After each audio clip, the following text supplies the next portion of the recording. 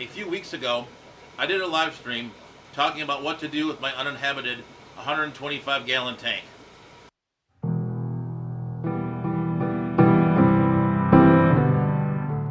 So what I've decided to do is turn this into a Lake Tanganyikan tank. Uh, I've really enjoyed the Lake Tanganyikan fish I've kept in the past.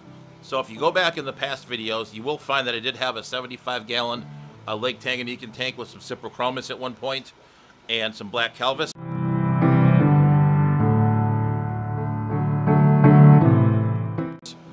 Let me go ahead here and walk you through it. Let's go ahead and start with the uh, hardscape first. Uh, obviously you got the sand bottom. Uh, the background is a DIY background I made out of the spray foam. Um, I'll go ahead and put a card in here for the video that I made on how I did that. And then if you look at the rock work itself, uh, if you go to the back corner in the, the darker section, some of those rocks that are back there uh, were the rocks that I collected with my children uh, back a few weeks ago. Uh, that video came out last Sunday, so definitely uh, check that out if you haven't. It was a lot of fun. Uh, you know, my daughter did a lot of the camera work and a lot of the narration for it. It's definitely fun to go out and do that with her, share that experience with the kids. So thank you guys for all your kind comments on that. So if we look, uh, we did plant some jungle val in here. I do like using jungle val in a lot of my different African cichlid tanks. I find it stands up well. Uh, a lot of the fish really leave it alone. It also kind of gives a nice look to the tank. I know there's not a lot of plants in Lake Tanganyika itself, uh, but I do like the effect that plants do have on the filtration and add a little bit of greenery to the tank. And then obviously uh, we do have the shells in here. You won't be able to see it, uh, but way in the back there you do have the Fluval E300 heater uh, so I, am going to try to target to keep this tank up in the uh, high 70s in terms of temperature. The species that we are keeping in this aquarium will require excellent water quality. To maintain that water quality, I've set up the filtration two different ways. Uh, I do have a Aqua Clear 70 on here. Uh, it's kind of hidden in the corner. That will provide the filtration for now. And then I actually still did plumb this up for a sump. So if I did want to do a sump at some point, I can go ahead and uh, sump this tank as well. Along with the plants, I do think we have a pretty solid filtration plan for this tank. Uh, one thing I did want to do with the lighting is kind of create a light zone and a kind of a darker zone, which I was able to do with two Aquaneat lights. So let's get on to the fun part and talk about the fish.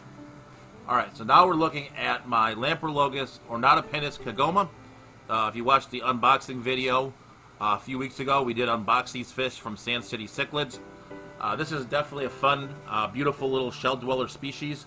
Uh, definitely patrol the bottom. Uh, there are six of these guys in the tank, so looking forward to seeing these guys grow up. But uh, let's go ahead and spend a moment and uh, just watch them do their thing.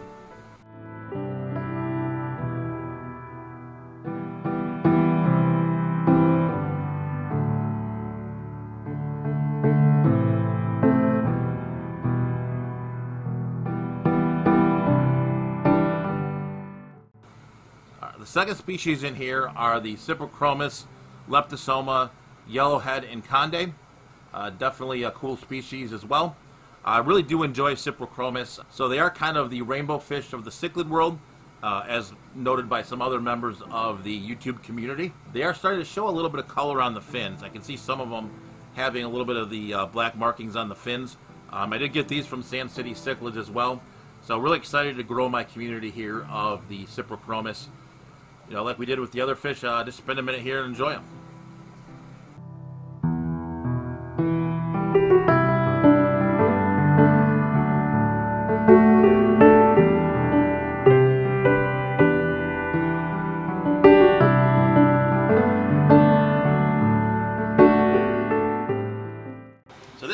Definitely a lot of fun to put together. Uh, it did take a little bit of time, but really happy with how it turned out.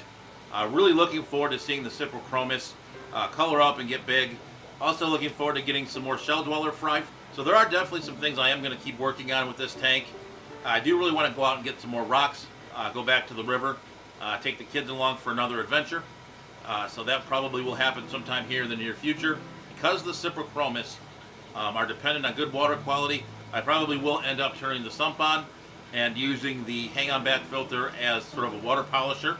All in all, this tank was a lot of fun to put together. Uh, did take a little bit of time, but I am really happy with the outcome. It also did take me a while to decide, uh, just to kind of figure out what I wanted to do. But uh, I'm really happy to have some Cyprichromis back in the fish room. Have a uh, pretty nice looking Lake Tanganyikan tank. So I do hope you guys enjoyed taking a look at this tank and uh, checking out what I decided. Um, if you guys have any stocking ideas or any suggestions, uh, definitely go ahead and leave those in the comments. Uh, they're always appreciated. Uh, so that being said, uh, this is our first time meeting and uh, you haven't had a chance to check the channel out, uh, go ahead and check out some of the other videos. If you like what you see, go ahead and hit that subscription button, ding the notification bell so you don't miss any further updates. So that being said, stay safe out there, stay fishy, keep on breeding, and we will catch you guys on the next video.